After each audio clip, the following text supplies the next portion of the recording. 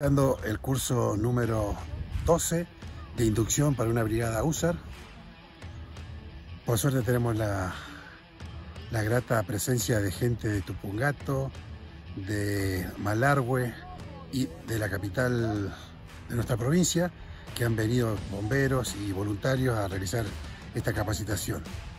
Es de nivel inicial, es nivel 1, donde realizamos tareas de búsqueda y rescate en estructura colapsada.